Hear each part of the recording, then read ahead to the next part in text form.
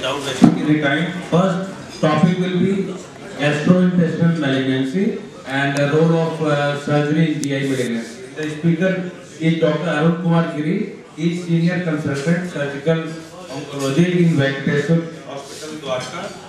He is an alumni from the prestigious uh, BHU and then he, he, is, he, I think he received gold medal there. Then he received extensive training in cancer management. Then he did DNB surgical oncology in 2008. He was also trained at famous Memorial Sloan Kettering Center, New York. And now he is uh, senior consultant surgical oncology, experience of I think around 18 years. So I request Dr. Giri to start his talk. Light. Thank you, sir, for the nice light. Uh, good evening, everybody. Uh, this is our hospital. It's a new venture, relatively new venture, Venkateshwar Hospital uh, in Sector 18, Dwarka. Uh, it's a 330 bedded uh, multi-super specialty hospital. Malignancies uh, that would include uh, from below to up, uh, colorectal cancer, then hepatobiliary, gastric cancer, and uh, last uh, esophageal cancer and uh, how the surgical oncologist actually brings about some quality in the management of these cancers. Uh, I'll start with first colorectal cancer, which is the second commonest cancer in the West. Uh, relatively uncommon in India till very recently, but uh, of late the incidence is rising. Uh, thanks to the changing habit, uh, our, uh, food habits, uh, our increased intake of fat, less intake of fibers, and uh, fortunately more than three-fourths they present with localized disease and uh, rest they have uh, metastatic disease, most common metastasis, first metastasis goes to the liver and subsequently to other organs. Uh, most of the cancers, 70% of the cancers are rectosigmoid cancers, uh, followed by transverse colon, descending colon and ascending colon in their decreasing order. Uh, the uh, right-sided colon cancer presents differently as compared to left-sided colon cancer. Left-sided cancer presents with altered bowel habit relatively early uh, in its uh, natural history. Uh, on the contrary, right-sided cancers, they usually have constitutional symptoms, anemia, some weight loss, some non-specific symptoms, so the diagnosis becomes late on the right side as compared to left side. In a localized carcinoma of the colon, rectum surgery is the gold standard and it's a principal therapy for non-metastatic cancer. The aim of surgery could be curative in early stages or palliative later on if they are obstructed or perforated. So uh, in those cases, if there is bleeding, so palliative uh, surgery is the goal. Surgery helps in accurate uh, staging of the cancer. It guides adjuvant treatment. And as we all know, likelihood of cure is better if the disease uh, is detected in early stage. Uh, Coming to next prognostic factors of colorectal cancer. Certain prognostic factors are innate, you cannot change them, like stage of the disease, the grade of the disease, now the tumor markers, and molecular uh, markers, biological behavior of the tumor, and presence of obstruction or perforation entails that uh, poor prognosis. Uh, another prognostic factor is the surgeon. Operating surgeon is one of the you know, prognostic factor which can change. Other prognostic factors do not change, but this is one factor which does impact the outcome. The skill of the surgeon, experience, aggressiveness of the of uh, resection, his tissue handling and learning curve, they are all very important when it comes to the final outcome of the cancer of the colorectal. Uh, essential component of adequate cancer surgery in almost all GI cancers is wide exposure and absolute hemostasis. Wide exposure earlier used to mean a long incision from xiphisternum to pubic symphysis. This has changed over time. Now we are doing uh, with uh, laparoscopy, uh, 4-port, 5-port laparoscope, robot, or recently a single port, single incision, single port laparoscopy. This is one technique which we have uh, started in our hospital. Uh, this uh, technique actually involves a single incision around 3 to 4 centimeter and we put in a port and through that port we put in 3 4 uh, subports and we can operate like a laparoscopic surgery. So this, this also gives a wide exposure but the incision is less. Another hallmark of cancer surgery is centripetal surgery. That means that we dissect away from the tumor. We do not touch the tumor as long as possible, as far as possible. Uh, lateral margins are a must. We must take adequate lateral margins. Uh, all around three-dimensional lateral margins, they have to be adequate. There should be no spillage of cancer cells as far as possible in the peritoneal cavity. We should thoroughly lavage the peritoneal cavity after, the, after the resection. We must perform a complete lymphadenectomy. At least 15 nodes, 12 to 15 nodes are required for adequate staging and deciding about the actual treatment uh, of the malignancy. And we must ligate the vessel at the origin, not at the end of the uh, colon. So uh, this uh, operative photograph shows that the ileocolic artery has, is being uh, skeletonized and being ligated at its origin. That means all the nodal tissue which are distal to this artery are taken along with the specimen. Uh, this was a total colectomy case. Uh, similarly, the medullary artery and vein they are being ligated at its origin. Inferior mesenteric artery being ligated after uh, know, skeletonizing the iliacs and the aorta, which we can see very nicely. Ureters we can see. These are the uh, I think the resolution is not that good. Uh, so this is this is the ureter, aorta, this is the inferior mesenteric artery, common iliac on the left and on the right. Uh, and this is the specimen which includes the entire mesocolon along with the right colon, left colon and all. This the complete mesocolon has been excised along and this mesocolon actually contains all the nodal tissue. This is another uh, case where uh, we have performed the hemicolectomy on the right side. Uh, this is the tumor.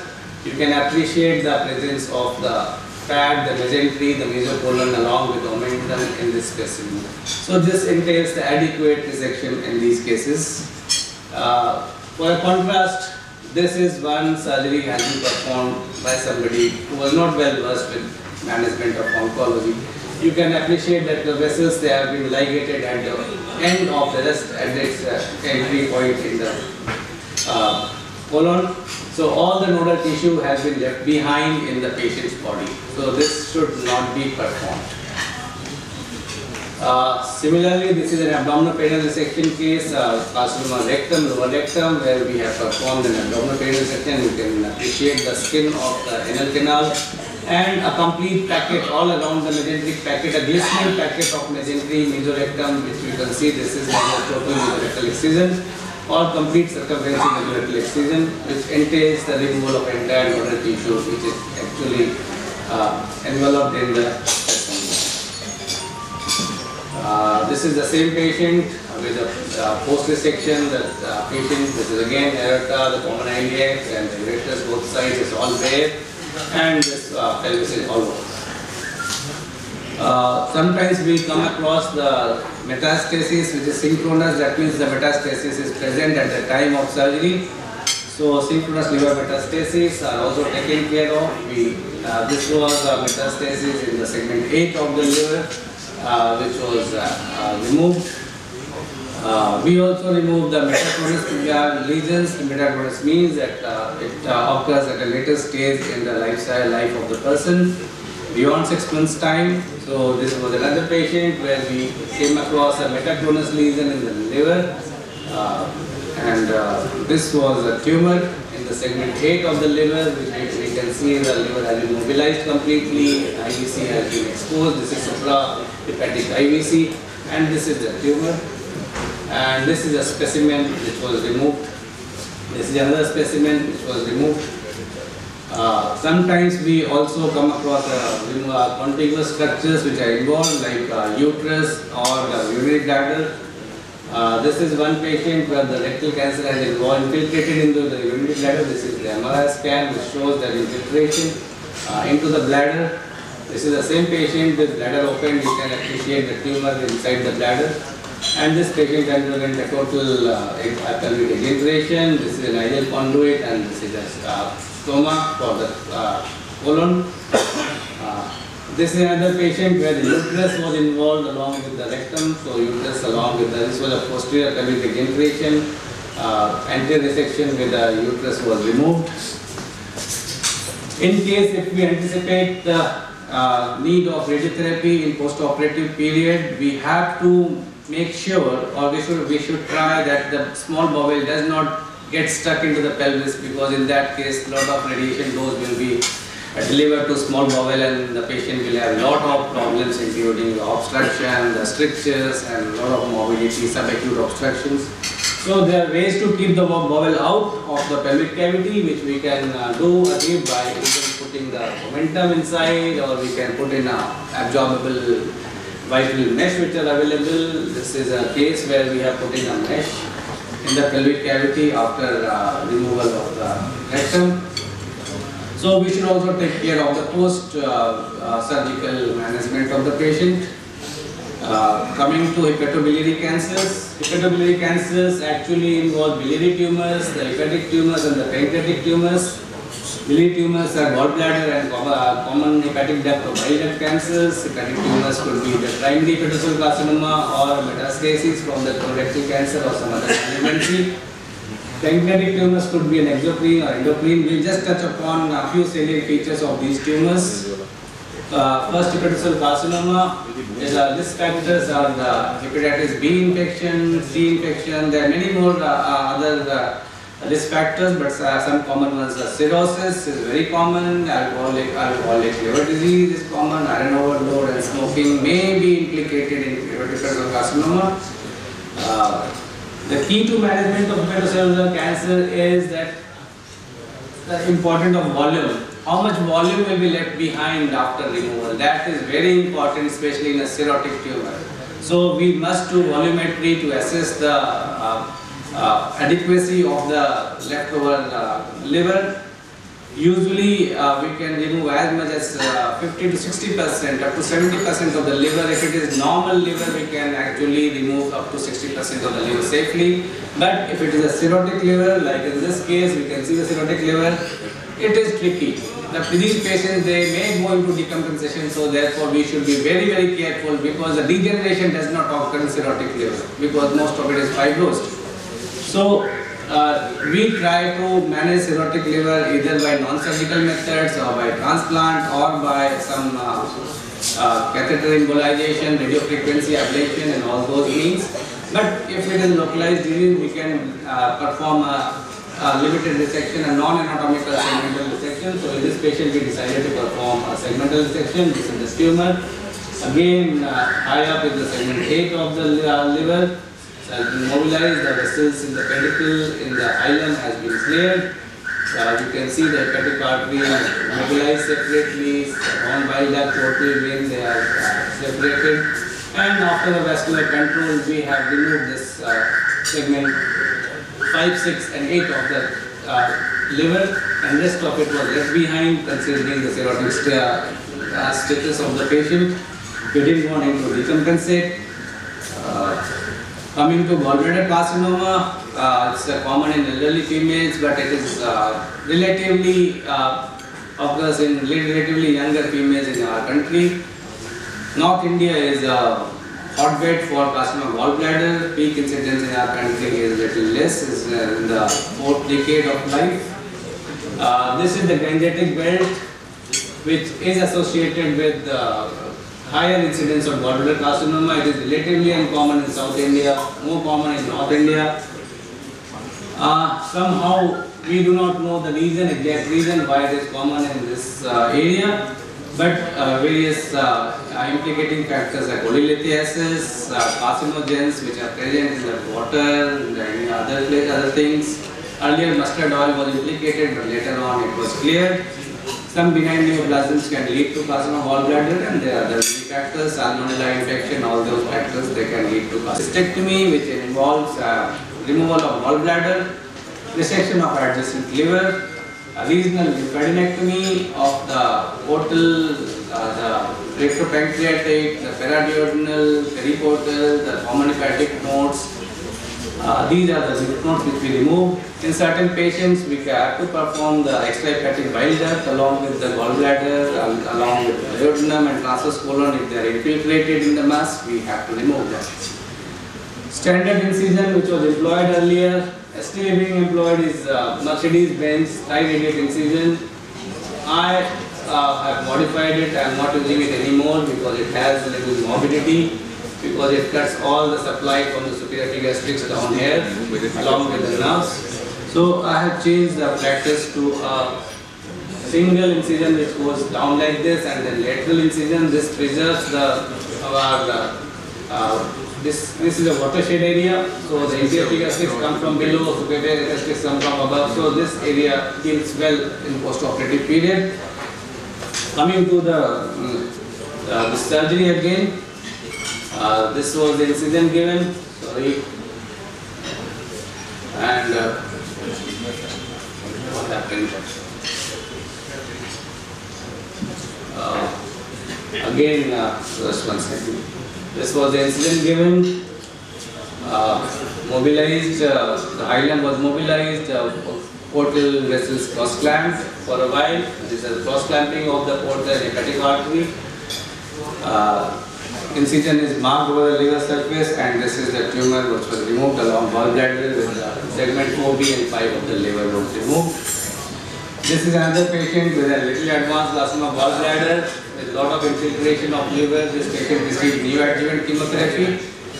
After the neoadjuvant chemotherapy, there was marginal regression resection of the gallbladder along with the liver, segment 4B, 5 and 4A. Sometimes gallbladder uh, hepatic flexure is involved and with the gallbladder malignancy that can be resected along with the gallbladder. So this was a case where the right hemicolectomy was performed along with the removal of gallbladder carcinoma and liver bed.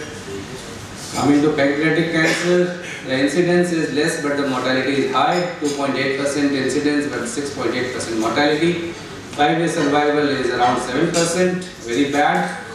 Periampullary carcinoma it is better but uh, pancreatic carcinoma is bad.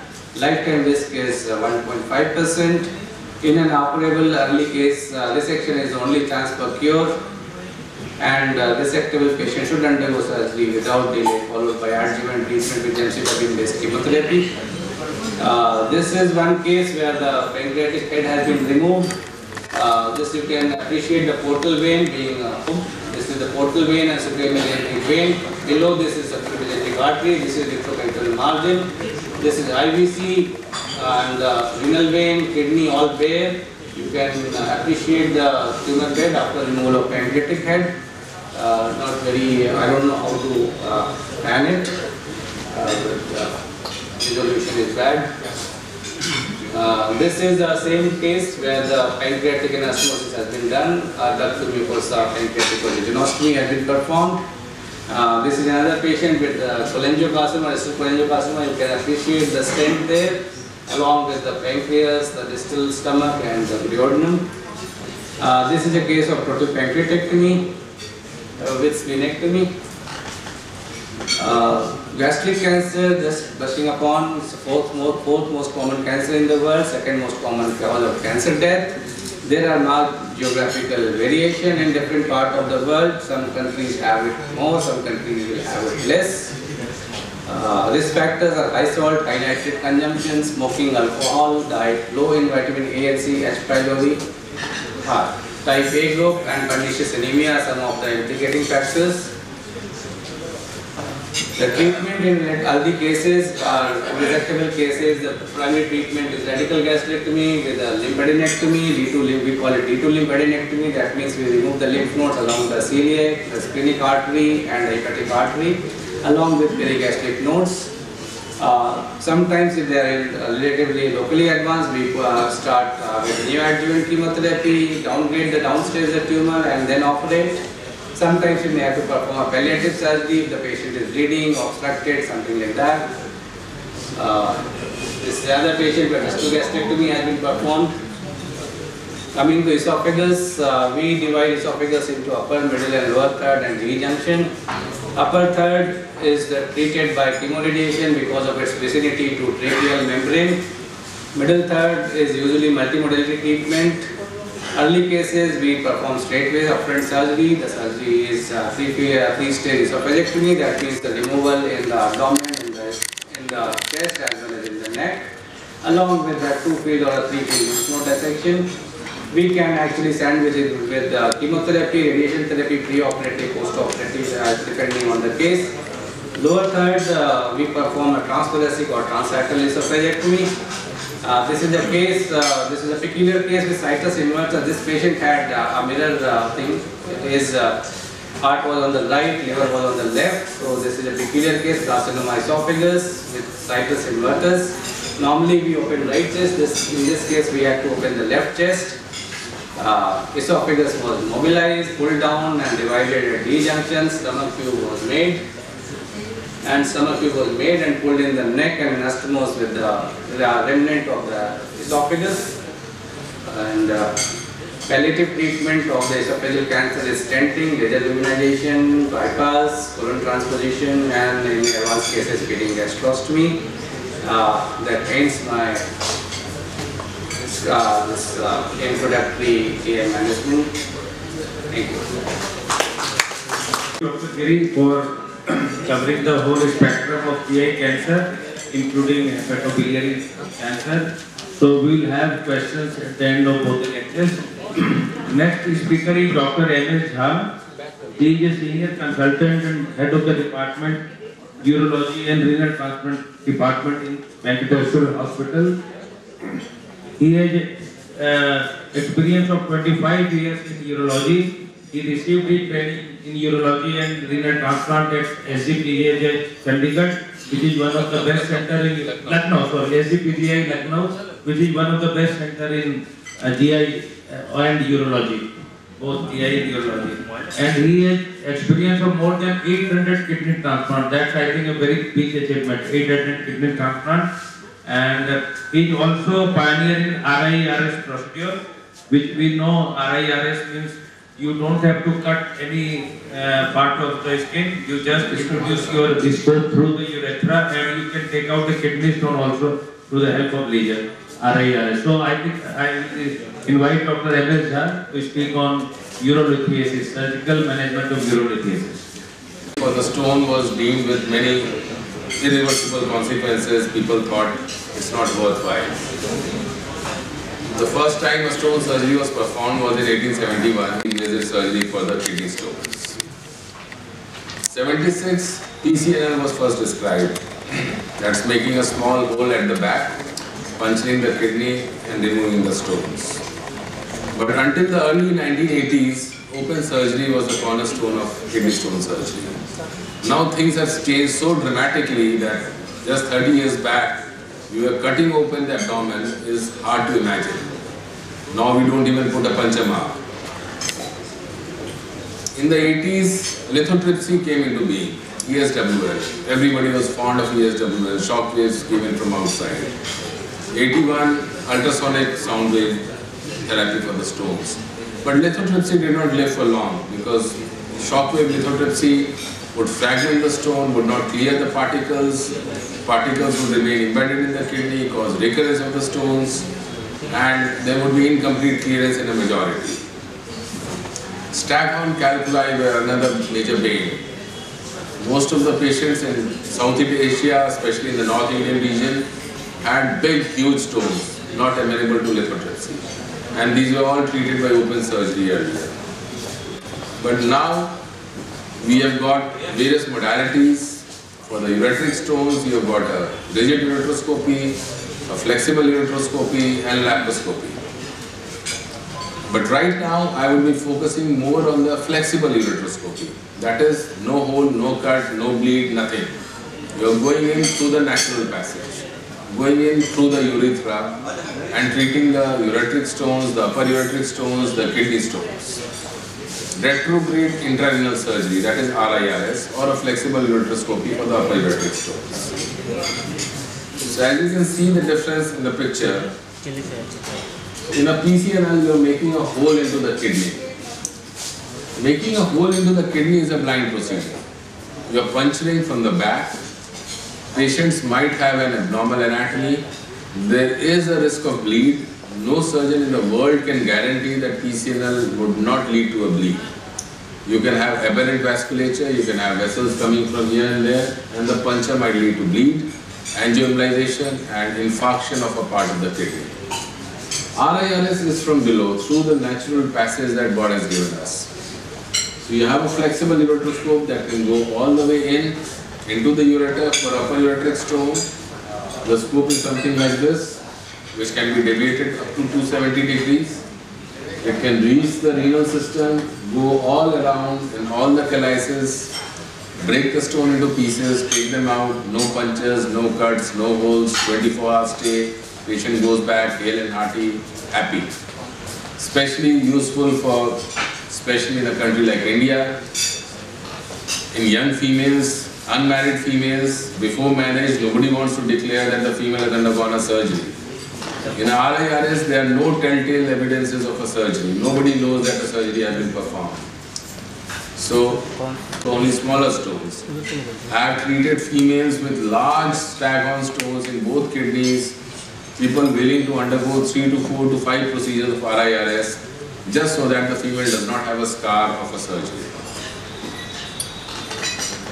So multiple calcium stones, the options would be either a PCNL, that is a percutaneous nephrolithotomy with multiple punctures, it's more morbid, more risk of bleeding, or a shockwave lithotripsy where you have that localization problem, you have to focus on the stone, the stone should be breakable, it should not be very hard, and a greater surface area of the kidney exposed to stones which can lead to more damage to the kidney, perinephric hematomas, other problems. So flexible ureteroscopy has been emerging as the ideal choice for these stones. Gives a good access to the upper tract and all the calyces. We have got efficient extraction equipment, we've got the baskets which can go into all the calyces, flexible baskets, 1.3 French baskets, 1.3 French is 0.4 millimeters. So they are very ultra thin instruments. And with a 100 watt laser you have got efficient dusting or fragmentation. For large stones, we use dusting. For smaller stones, fragmentation and extraction with a basket. Pictures are not of a very good quality, but patients with these multiple stones spread all around in the kidney, undilated calyces. Puncturing into these systems is difficult and there is a very high risk of bleed. RIRS you enter everywhere. Multiple stones all around the kidney, if you practice a PCNL, that is a rigid instrument. You puncture, you make a puncture here, you make a puncture here, you make a puncture here, the whole of the kidney is punctured. And definitely a high risk of bleed. You can also tackle bilateral stones simultaneously. I have been doing bilateral RIRS in most of my patients. So most of the patients who have a metabolic problem have bilateral stones. They undergo bilateral RIRS, same sitting, discharge the next day. Then anatomical abnormalities, horseshoe kidneys. They are placed abnormally, located deep in the pelvis. PCNL is not practical, vascular anatomy is abnormal, chances of bleed are high, colon is lying anteriorly, so chances of colonic perforation is high. RIS is very safe in these patients. Malrotated kidneys, here the calyces are all, point- these, these are pointing medially. Normally you will have calyces pointing laterally and you puncture from the lateral aspect. You cannot puncture from the medial aspect because in the right-sided kidney you will have the cava lying just below the calyces. In the left-sided kidney you have the aorta lying below the calyces. So again RIS comes to the rescue. Otherwise open stone surgery was the only thing that you could do. Vision is good. You can see a small stone here in the calyx. This is the last stone impacted there, the typical oxalate stones with all the spicules that cause the pain. This is the last stone that was extracted intact. This is a different picture I wanted to show you. It was a huge stone. This is a stone impacted in the ureter. Now this is something I wanted to highlight to all of you. These are multiple small stones in the calyces. This again, this stone might be around 3 to 4 millimeters. So what people normally believe is a small stone is supposed to pass out spontaneously. Less than 5 millimeters should come out. But the important thing to understand is these stones are stuck to the calyces. They are not free floating in the kidney. Nobody would develop a large stone if the stones were free floating. They would all pass out through the ureter. The stones are stuck here and there is no medicine which is going to make the stone move from there. They move out on their own, they leave this place on their own. At a small size, they would pass out of the ureter. At a larger size, they would get stuck up in the ureter. At a much larger size, they would get stuck up in the kidney. But multiple small stones like this are an indication for RIRS. Because it is too much to expect that all of these stones are going to move out at a size smaller than 5 millimeters pass spontaneously. And all of these can be tackled spontaneously. So this is a basket that we use, a zero-tip nitinol basket, which can disengage the stone, hold it, and then take it out. Just a video I wanted to show you. I don't think the video is running here. I'll show you from the. For the fragmentation with the stone, with a 100 watt holmium laser, we have the option of either fragmentation. This would fragment into bigger fragments which can be removed with a forceps or a basket. Or you have the option of dusting, where it would dust like a sand. So in case of RIRS, in case of very large stones, you just dust it into sand particles. And then you put in a stent and come out. You go in the next time after two to three weeks, most of the particles would have cleared. In this case, it's just a fragmentation. What you are seeing is a very magnified view. The ureter is a 2 millimeter tube and this stone would be hardly 7 to 8 millimeters. But you break it into multiple 7 to 8 fragments, then you take them out with a basket and you put in a stent.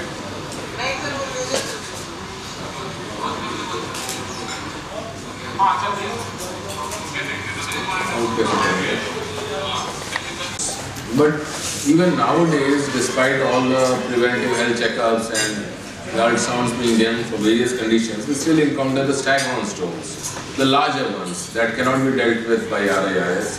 We still need to do a PCNL. Now, staghorn stones are silent killers. They just grow insidiously, they fill up the whole of the system of the kidney, very often lead to renal failure in 36% of patients. And if untreated, they have a 28% 10-year mortality. But if you treat them, there is a study of 177 patients back, long back, where no patient with a complete stone clearance died, but untreated 28% died. In this study, 67% of those who refused a treatment died ultimately. So the final conclusion was that all staghorn calculi should be treated surgically and PCNL followed by RIRS or repeat PCNL is the first choice. You cannot leave the stone untreated, they are going to die. So the goal of treatment is maximum stone clearance with minimum number of auxiliary procedures and to preserve the renal function with a minimum morbidity. So the ideal management would be complete removal of the stone, metabolic abnormality that has led to the formation of the staghorn stone should be identified and treated. That's usually done after you treated the stone. You do a complete metabolic evaluation, a metabolic profile and give the patient preventive strategies to prevent the recurrences.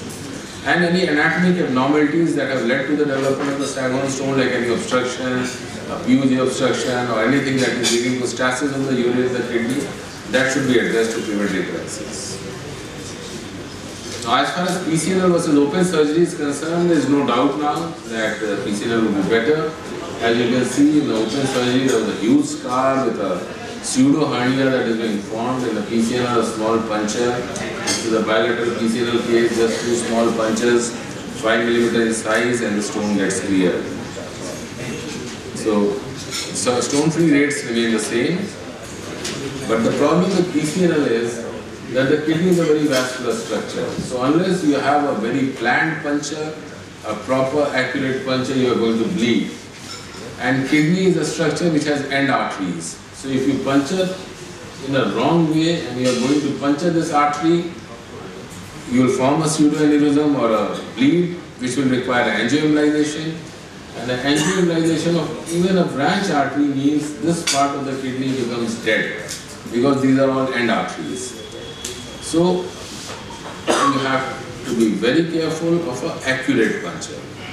Accurate puncture means an infundibular puncture, not a pernicial. A pernicial puncture is associated with a bleed. Infundibular puncture is an end-on puncture, comes with experience, and uh, experience definitely leads to reduction in the effect of PCNL bleeds, which you can see from the study, especially the LAND group, where in the later series, after they were well experienced with PCNL, there was a 0% incidence of bleed. Then there is a risk of pleural injury as well, because kidneys might be high up in some patients, you might enter through the pleura or the pleural effusion. You might have retrorenal colon in some patients with a colonic injury, and uh, retrorenal colon can be identified with a plain CT. Now as a routine, earlier 10 years back we used to operate on the basis of uh, IVP picture. Now I never get IVP done. More radiation exposure, less of information. Just a plain CT KUB is more informative about the stone than anything else. Then again with uh, abnormality in the renal structure like a renal ectopia or a horseshoe kidney, you have more incidences of the colonic injury. With more experience in PCNL, you go for an aggressive approach. Multiple punches, two, three, four, for complete clearance of a staghorn stone. You can even go for a supracostal puncture that is above the 12th rib. You have, you have enough experience of knowing how to avoid a pleural injury and you can do a bilateral simultaneous PCNL. Usually avoided, but in case your first side has gone uneventful, you can treat both the sides simultaneously. A few of the cases like this is a complete stag We cannot even dream of doing RIRS in this case. It would require at least 5 to 6 days. Huge stone, you've done multiple punches, there's a plain x-ray, put the ureteric catheter in the supine and then put the patient in the prone position. Got one puncture, two puncture, put the access sheath, do the RGP study from below and clear the stone from all the punctures, then a third puncture and finally you have an x-ray that shows a complete clearance in a single sitting of all these stones. A complete clearance is something that you have to be lucky about. You might not be able to reach all the calyces. Earlier we didn't have the facility of RIRS, now at least I can guarantee my patients that even after PCNL, if you have residual stones left in some anterior calyces, which are difficult to approach with a rigid nephroscope, we can clear them up with the RIRS. So the aim of PCNL now is more of a debulking rather than complete clearance. The aim is to remove the bulk and then treat the rest with the RIRS and do it in the first setting itself. So this is the amount of stones that can be removed from a single patient in a staghorn stone. You can have a glass full. Large bag. Yeah, a large bag. No, this is a Patiala. Patiala. Yeah. so, uh, similar patient, bilateral stones, plain X-ray and IVP. Patiala bag on the rocks. On the rocks, yeah. That has to be on the rocks. So this is the picture again after the second sitting out of gas shadows. Then the problem is in a horseshoe kidney with a stack. This is something that is tricky, not available to RIRS. PCNL is prone to risk of bleeding and all, but huge stone, you have to do it. So we plan our sound puncture in case we feel that the colon is overriding the horseshoe kidney. And then you can treat this as well. Thank you.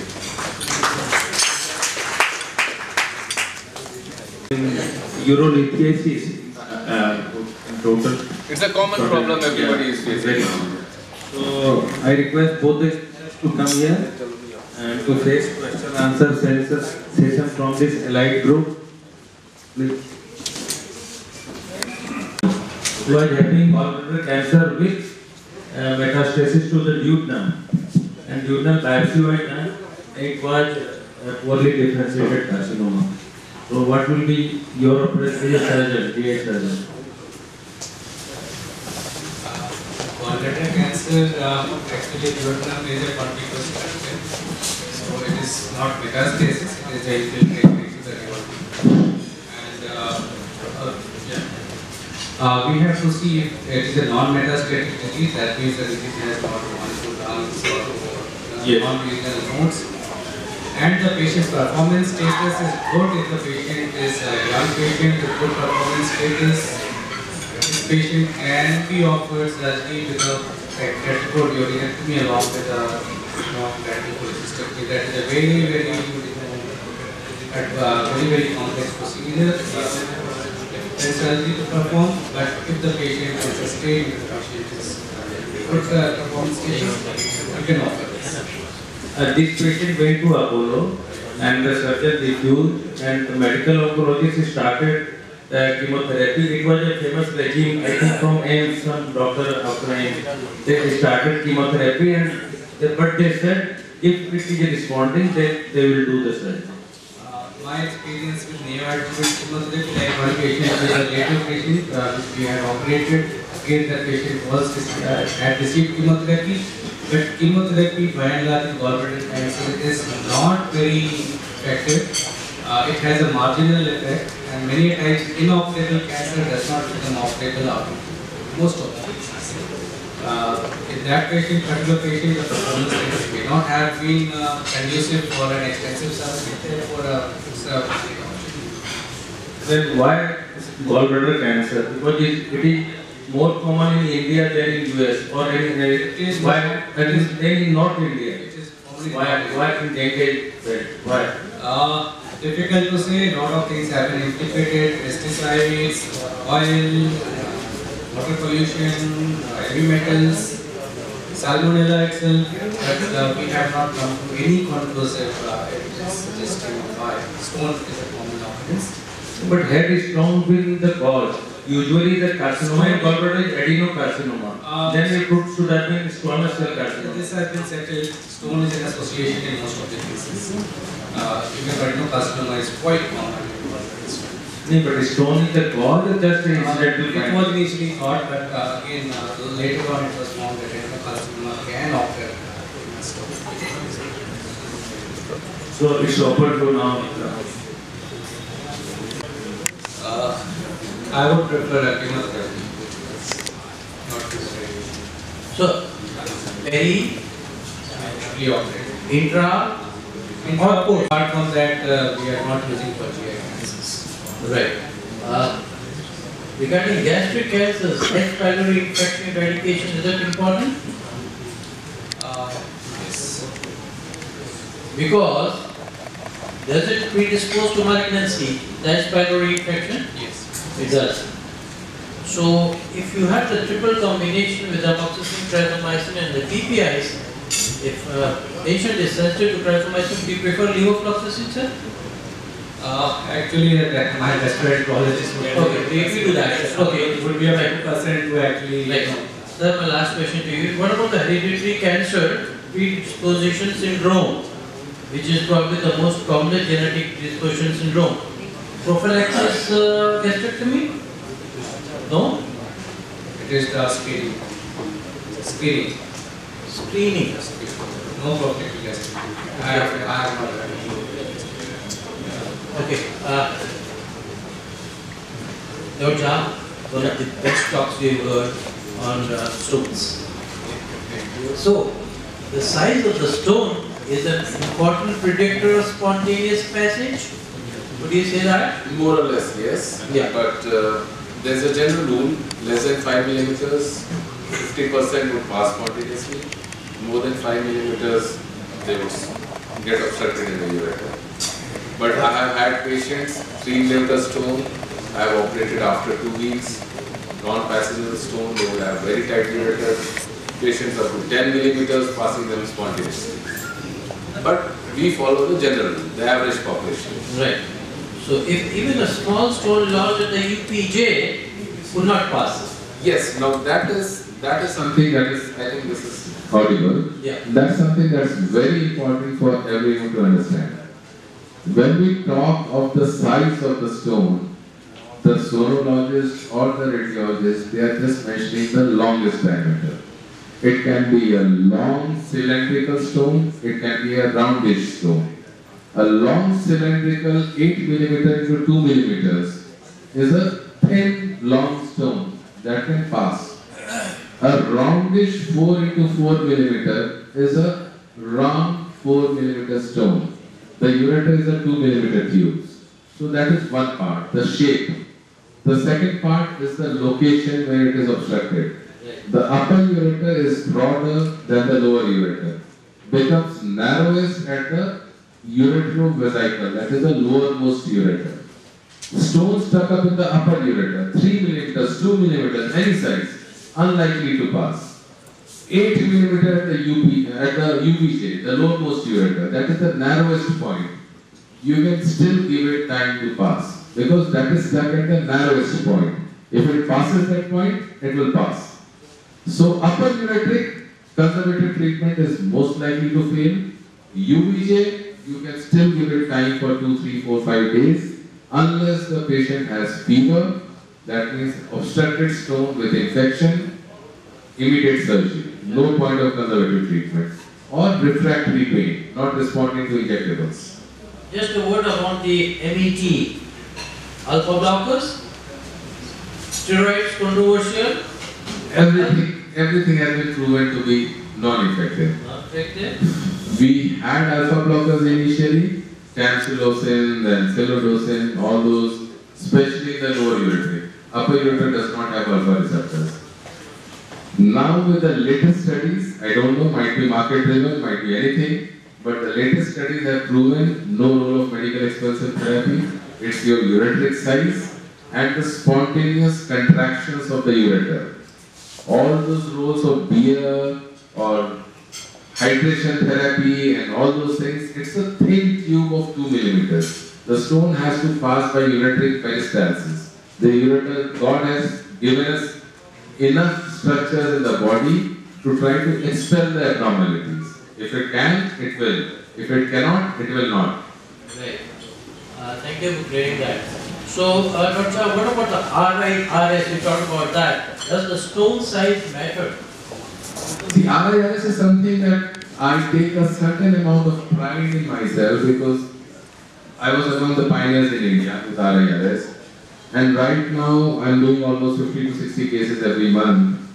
And the average, even in the best of centers in the world, is 2 to 3 to 4 to 5 cases a month.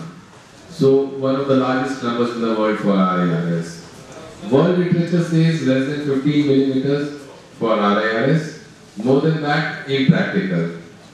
But practically I have dealt with stones as large as 30, 40 millimeters, bilateral staghorns, multiple stages of RIRS and complete stone clearance. So that is something that that is very helpful for the patient. It's a 24 hour stay. Negligible complication risk, the only risk of infection which you cannot avoid it. If it's an infected stone, you break it, the bacteria spread, you have sepsis, that is unavoidable. You do a urine culture beforehand. So practically all my patients have been uncomplicated and they have got complete clearance. World literature says 70% clearance rates. My study 100% clearance rate. Thank you, sir. It will take yeah, multiple stages. Yeah, because in the first stage you would only dust it. Very large stones you might dust it in two stages. And then you remove the residual fragments in the third stage. Thank you so much, impressive. Sir, as per urinary stones, चक्षु खुले हैं ज्ञान चक्षु कुछ तो इन्होंने बोल दिया मैं कुछ और बोलने में चाह रहा हूँ Sir, what about the size of uh, the least size in the uretrovesical junction? What is the size? The size of the uretrovesical junction is 2 millimeters. Right, But again, when we talk of 2 millimeters, it's a roundish diameter. right. When we talk of the stone size, we are talking of the maximum diameter. So there is the controversy. When you talk of ultrasound, that is always fallacious. I've got hundreds of readings where the ultrasound will say something and the CT will contradict it completely. So I only believe on my CT findings, no sonology findings. The prostatectomy lead to stone formation. Prostate if it is leading to obstruction, residual urine, and bilateral hydronephrosis. So anything where urine stasis is there, where the urine is staying at a point, will lead to stone formation. How bad is the polycystic kidney? Polycystic kidney is a genetic disease, you can do nothing about it. No, what, what, what we find the fallacies or the complications in life? In stone formation? With polycystic kidney, Yeah. Polycystic kidney would usually have to take care of the hypertension. So you have multiple cysts. Stone formation has nothing to do. Polycysts cysts are there in the renal cortex. They have nothing to do with the pelvicalyceal system. It's a stasis. No, it's the you have nothing to do with the cortex. Polycystic is in the cortex. We are talking of the pelvicalyceal system. So stasis in the cortex might lead to infection. You can drain the cyst. But stone formation and polycystic are two different things. Right, sir. But Uh, polycystic kidney ultimately lead, lead to renal failure. That without it, not, no reason, uh, no. Stone is different. Nothing to do with stones. Renal failure. Renal failure might lead to that. Then main So the usual, usual cause of renal failure in polycystic would be hypertension. So if you are controlling your blood pressures, you will have multiple cysts, you are having multiple large cysts, Rovsing operation, laparoscopic decortication. Earlier it was abandoned. Now I have started doing it again. I have had many patients where creatinine has fallen down from 4 to 1.5, 1.6. You laparoscopically remove the larger cyst, the pressure on the cortex is relieved. Many patients do well for many years. But ultimately renal transplant. I have done many transplants in polycystic kidney patients. My last question to you, sir, about stone. There is a notion or belief in the uh, population that uh, Cystone and uh, nobly and all that, how much they are effective in prevention? Prevention. Your treatment. Prevention, not in treating. See, prevention, all these locally and whatever they are, they're all potassium, citrate, magnesium. These are all inhibitors of stone formation. So the advice that we give to our patients after clearance, low sodium, sodium is a promoter, and high potassium, high citrates, high magnesium. Ice means the citrus fruits. Nibu pani use piya karo. Oranges, mosambi, anything. Citrus fruit. Citrates make the urine. There are two main, two main things by which they prevent. One is citrates make the urine alkaline. Commonest known ingredients are oxalate stones. Oxalate stones forming acidic urines. Uric acid stones forming acidic urines. So if you are making the urine alkaline, you are inhibiting the crystallization or the saturation of the urine so inhibiting stone formation. So number one, they are making the urine alkaline, and number two, citrates would promote excretion of sodium and oxalates. So they are inhibiting the tendency to form crystals. Second important thing that I tell my patients for prevention is continuous intake of adequate amount of fluids. It's not the amount, it's not that 3 liters of fluids a they would prevent stone formation.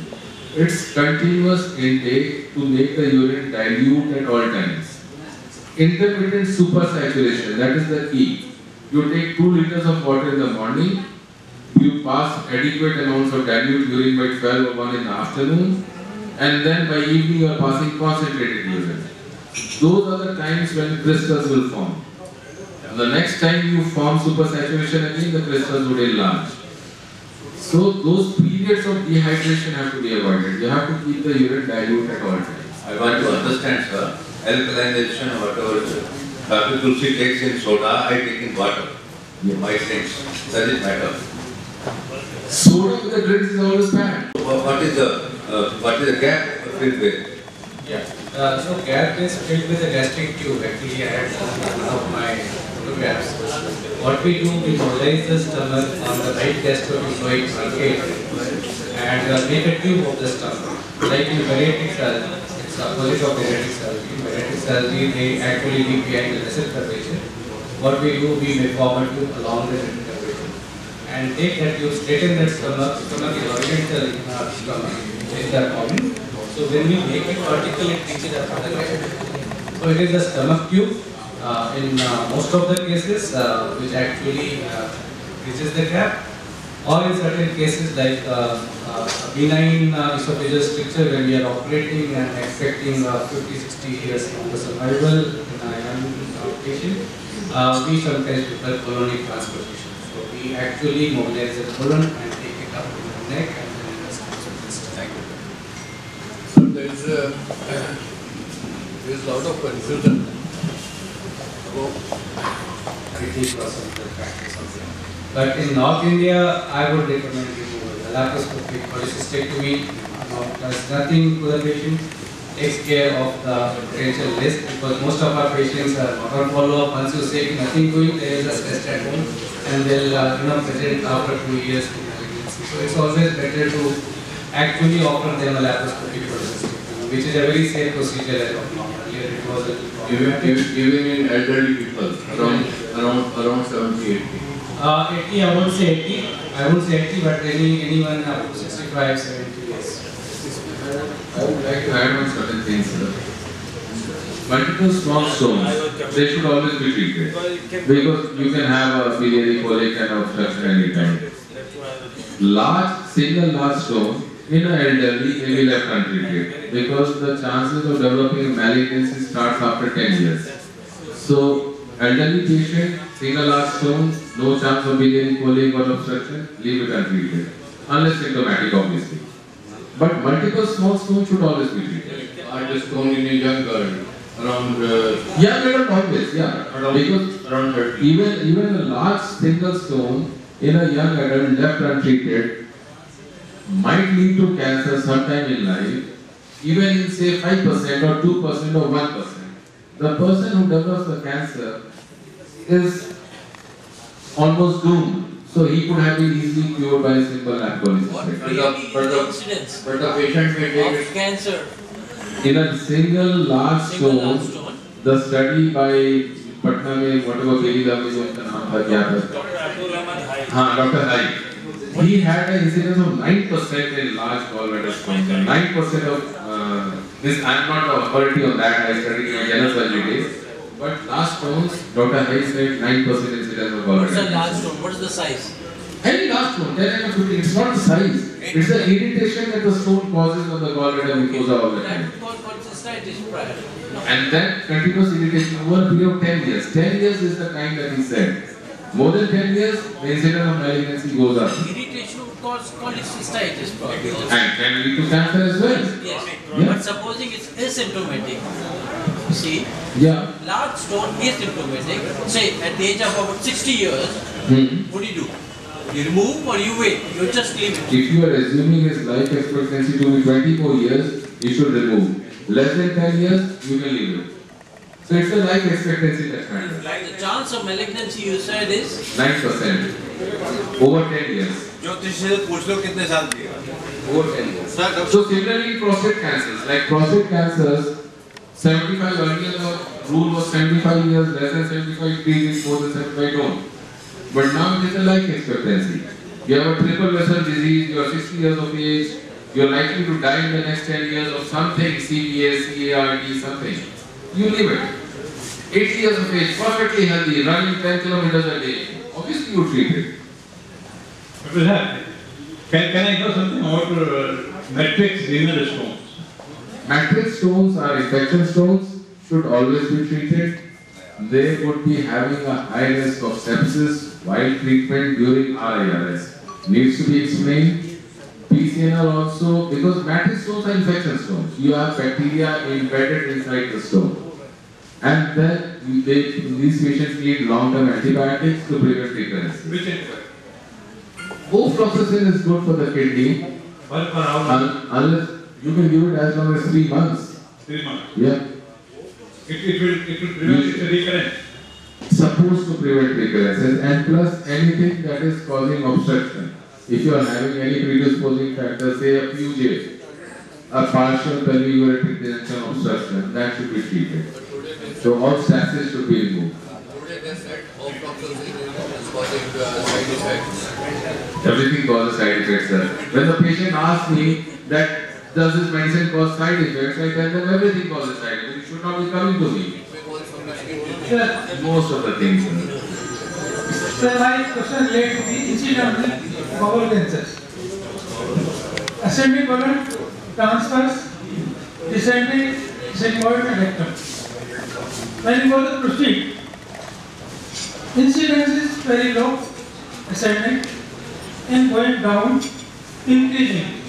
Sir vector में क्या बिगाड़ है? चालीस percent होता है number one sigmoid also will क्रिटिफाइड ऐसे what the reasons are number one ऐसा क्यों होता है? Reason multi carries there two things left and right colon is not अनइडियटिकली Left colon is different, right colon is different. Right colon actually has uh, liquid stool, left colon has a solid stool. So the, the you know, uh, the contact uh, with the stool, the, you know, the bacterial action uh, on the stool, everything actually uh, makes a, we call it microbiome. So the microbiome is different on the left side and the right side. So these are the certain factors explain the difference. So my second question. When you puncture to remove of the stones, kidney, by one side or two side, remove the stone, make the fragmentation. And lithotripsy is also doing the same thing without puncturing the uh, kidney. Number one question. Number two, when you remove the renal stones, after sequence of they again arise, so how many times you puncture the kidney, sir? I, I have seen the number of patients having repeatedly three, four times Yes, yes. new formation of stones. Yes. So, so I'll answer the first part first. Lithotripsy started with a bang and now most of the centers don't have it. Because number one, that's a blind procedure. You're focusing on the stone. Kidney is a mobile structure. Every time the patient breathes, kidney moves. You need at least a thousand shock waves hitting on a hard stone. Indians, 90% are calcium oxalate, monohydrate or dihydrate. They are hard stones. If you would have seen my laser, even the laser takes time to break it. It's almost like supari, if you have seen the supari. So they are very hard stones. Lithotripsy would break it into variable sizes, small, big, multiple. Some of them would pass, some would not. Some would just get blasted into the kidney surface. Now all these small particles this, which are lying in the calyceal wall would be needles for the further stone formation. So lithotripsy, X-ray clearance rates were good, actual clearance rates were negligible. And all these patients came back with recurrences. Now that we have started with the RIRS, RIRS has come back only hardly 6 to 7 years. Once I started doing RIRS on patients who have been treated by lithotripsy, you will see fragments in the wall embedded along the calyces. They were difficult to remove, and these patients would have recurrences. After complete clearance, the literature says take the preventive measures, 80% reduction in the recurrence rate. So you can reduce the recurrence rates, you cannot eliminate it. The standard procedure is after complete clearance, do a metabolic evaluation, identify the risk factors, give them preventive strategies. If they develop recurrences, you have to treat it. But patient is going to recur, develop a recurrence does not mean you are not going to treat him. A patient with a ureteric stone coming and telling me कि sir इसको आप ठीक करोगे दोबारा बन जाएगा that does not mean you are letting the kidney die. A ureteric stone left untreated, the kidney would develop hydronephrotic and get finished. So you have to treat it. And then you have to advise him to for the preventive strategies to prevent recurrences. You mean to say, can lithotripsy be stopped? Lithotripsy, unless in specific situations, has not only centers in the world who don't do RIRS. And because we are doing it does not mean the world is doing it. I get patients from Australia, from UK, coming for RIRS over here, affording the flight tickets because the waiting period in their country is three years. You have got only two urologists in the Australia doing the RIRS procedure. So people who don't do it have no option. A lower calyceal stone, undilated system, you cannot do a PCNL. And you don't do RIRS, you don't know the way to do RIRS, can only offer a lithotripsy. And lithotripsy has a documented failure rate of 30-40%. So at the end of lithotripsy, you tell, didn't work, sorry, that's it. In many cases of ESW, lithotripsy, you have to do DJ stenting. So another invasive procedure, and why not to go for uh, definitive? And then one study, it has called uh, damage to the cortex. In one study, repeated lithotripsy causes damage to the cortex and, and hypertension. So ESWL should be avoided. It's, Take no doubt about it. What is the cost? In most of the centers. Yeah, it will again depend on the size of the stone, single stage, multiple stages. So if you feel around 10 millimeters, single stage, 10 to 12, 15, pre-stenting, pre-stenting needed, not needed. Pre-stenting needed, it goes up to 1.5. No pre-stenting, around 1. Friends, I think we need to wind up now. There must be some other questions. Uh, Dr. Jha and Dr. Giri would be available for uh, their uh, expert guidance up there. I would uh, just ask uh, Dr. S. K. Podar sir to summarize this CME for us. And the next CME, sir. Next uh, CME. educated theory, both the speakers dealt the subject very well. And Dr. Giri, uh, I think, covered all the GI cancers in short. And Dr. Jha discussed urolithiasis, the latest treatment, including RIRS in very detail. So we thank all the speakers and we, uh, I think all of you should applaud them, both the speakers.